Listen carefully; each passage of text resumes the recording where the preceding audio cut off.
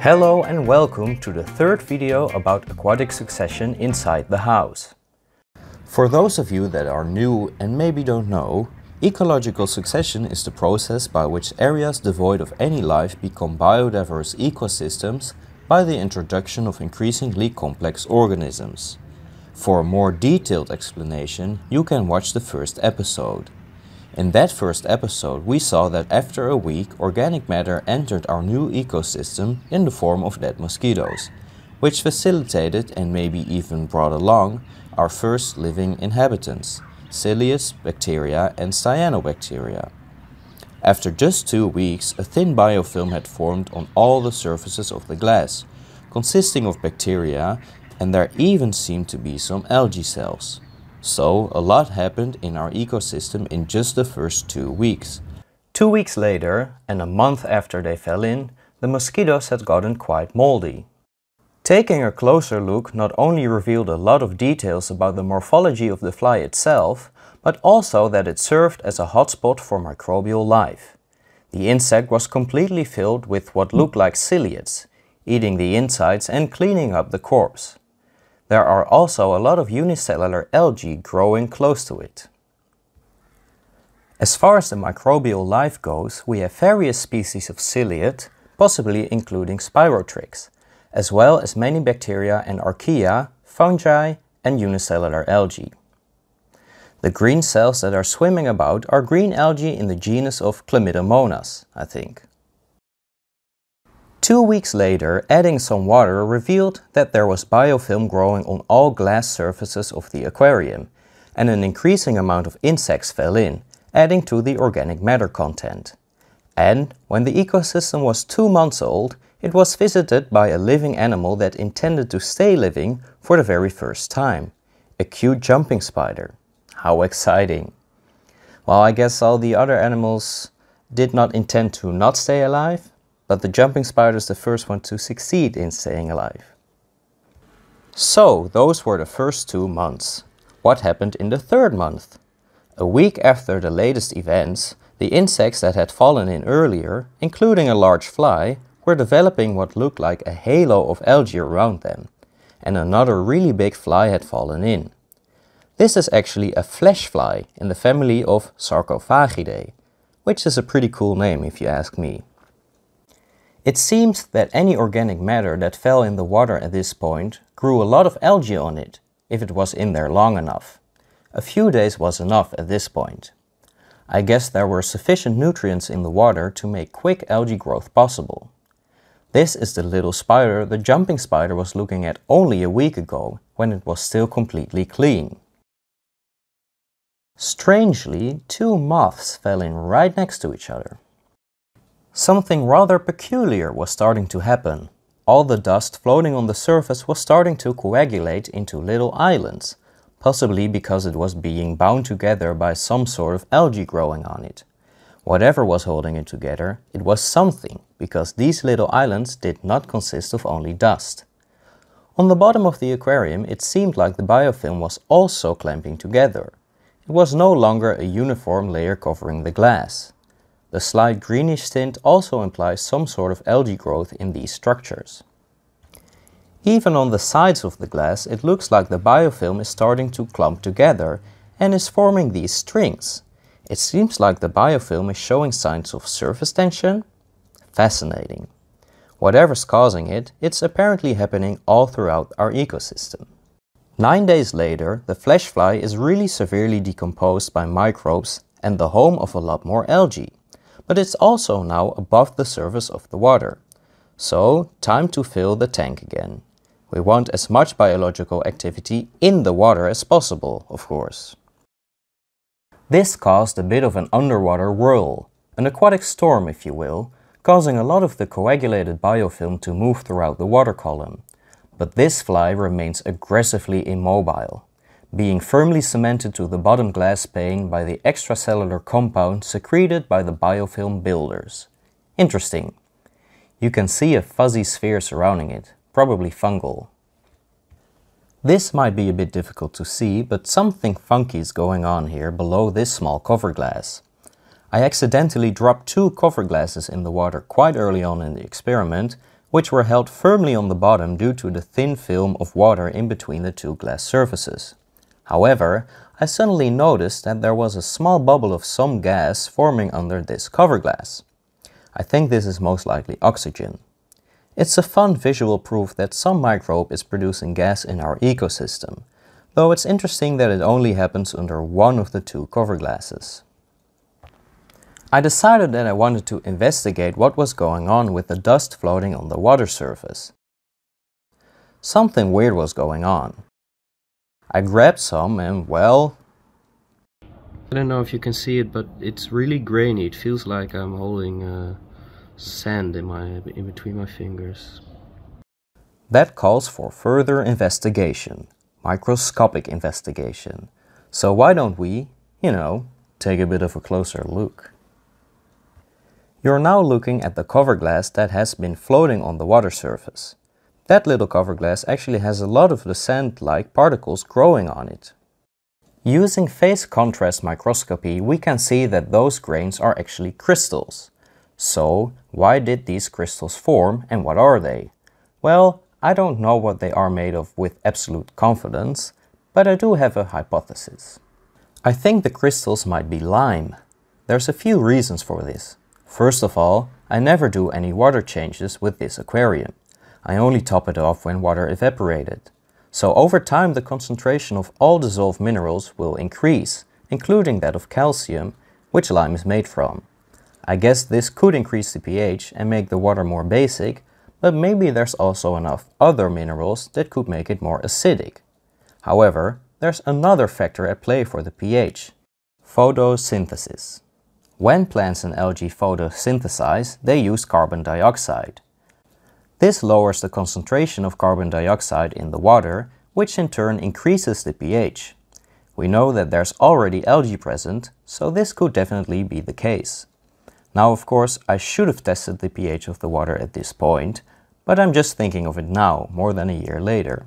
So I measured it now, and right now, what do you know, it has a pH between 8 and 9. Quite high, quite basic. The higher the pH of the water, the higher the precipitation rate of calcium carbonate and calcium hydroxide. So that makes sense. Moreover, contrary to most salts, the solubility of calcium carbonate and calcium hydroxide actually decreases with increasing temperature. This experiment was started in March and at this point it's June and much warmer. Again, it makes sense. So, it seems that through a combination of factors, the solubility of calcium carbonate and hydroxide went down, while the concentration of calcium went up. No wonder crystals started to grow. Of course, they would need nucleation sites to start growing. These nucleation sites could be provided by biofilm growing on glass or, oh, I don't know, dust floating on the water surface. It makes sense, doesn't it? But again, it's just a hypothesis. I'm just thinking out loud. I'm not exactly sure. Maybe a biochemist or a regular chemist watching could confirm this or tell us what's actually going on. For those of you that don't care about chemistry at all, I'm sorry, but it's over now. I couldn't help but notice that a lot of algae cells, I think Chlamydomonas, are hanging out close to or even at the edge of these crystals. That must have some reason. Maybe they like the structure or maybe they were the nucleation sites themselves. Or maybe they increase the pH locally even more. Oh sorry, no more chemistry. Well, I'll let you think about this one then. Let's put our cover glass back where it belongs. Oh well, that's not great. I'll fix it later, don't worry. Let's take a look at this moldy dead fly that also has an algae halo and find out how the microbial life around it is doing. Let's, you know, take a bit of a closer look. This is our sample magnified 63 times. Here specifically you can see the water next to the fly.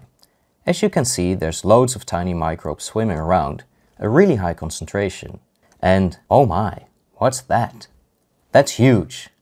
We'll get back to it.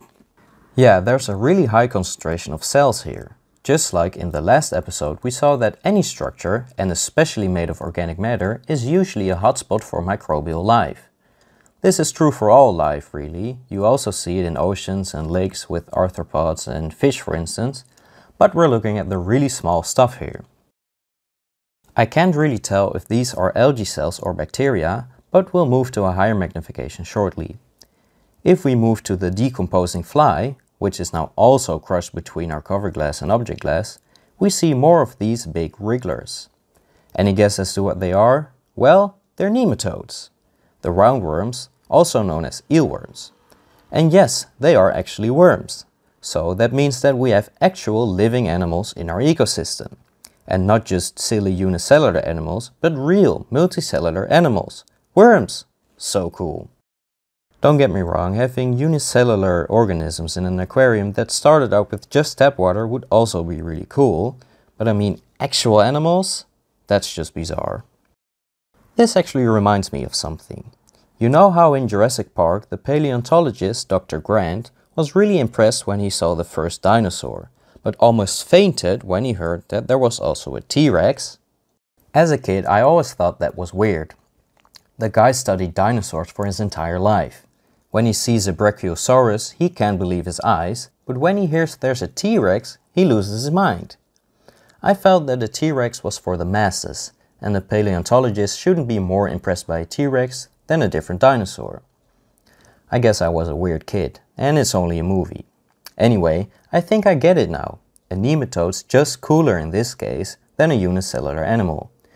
Not that truly unicellular animals exist, they're actually protozoans, but that's a different topic. I guess this sounds like I'm comparing nematodes to T-Rexes, but that's not what I mean. And I guess it's actually a terrible comparison, because the Brachiosaurus and the T-Rex are both dinosaurs of roughly the same size. Oh, shut up. Well, got a bit distracted again there. I've no clue which species this is. They all look pretty similar to the untrained eye, and estimates for the number of nematode species range from tens of thousands to millions. But this one is obviously quite small, not visible with the naked eye and therefore a microbe. But not all nematodes are microscopic. Certain free-living species can be several centimeters long, while the largest species that we know of, Placentonema gigantissima, can get up to 8.5 meters long, or 28 feet. It's not found in a lot of places though, at all. You see, it only lives in female sperm whales in the southern hemisphere that we know of, parasitizing mainly the placenta. Wild. Uh, yeah, got a bit distracted again, but the point is that there's now animals living in our ecosystem after only three months. That's so cool. It looks like these worms are a free-living species, and most free-living species can eat pretty much everything. So I think the reason we see a lot of them here next to the dead fly is because they're eating it, or are feeding on other organisms that are decomposing the fly, or both, probably both. If we look closer, we can see that all those tiny moving cells are greenish and therefore probably algae. There really are a lot of them, mostly shaking violently, although some do actually swim around. Not really sure what they are, but they're not the same Chlamydomonas species from earlier. It could be that there's so many here because the decaying fly is providing the nearest surrounding water with loads of nutrients, allowing the algae to reproduce quickly. It could also be that they were inside the fly before I squished it between the two little glass panes. The same might actually be true for the nematodes. Not because they were parasites, but because they were inside the insect to eat it, just like we saw a month ago with the ciliates. I'm not sure though. Here you can see really nicely that water is a lot more viscous on the microscopic scale, relatively. When the nematode moves, it looks like it's moving through a gel, but it's really just water. Here we have some other microbes which look like they might be ciliates. Two of them right next to each other, while there's not that much of them overall. Maybe they seek each other's attention. Interesting. And here's a group of three larger microbes.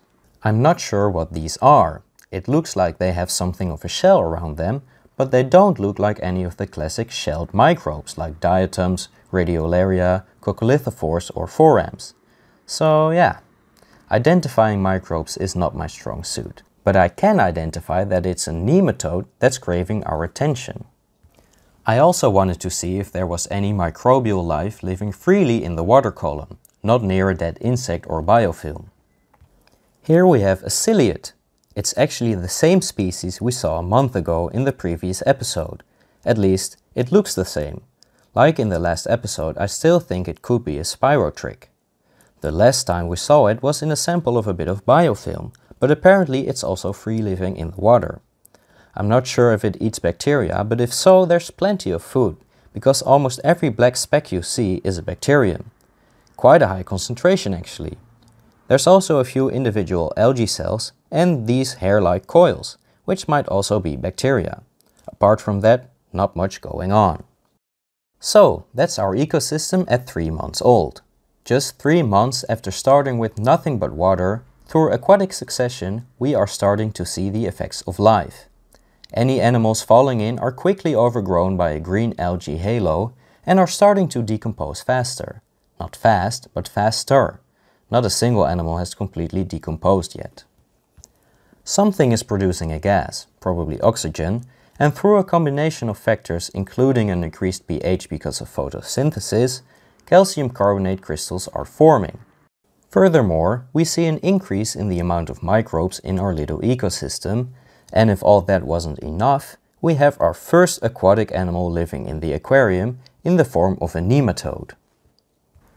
All of that in just three months, as a result of ecological succession, while our container is located inside on my windowsill.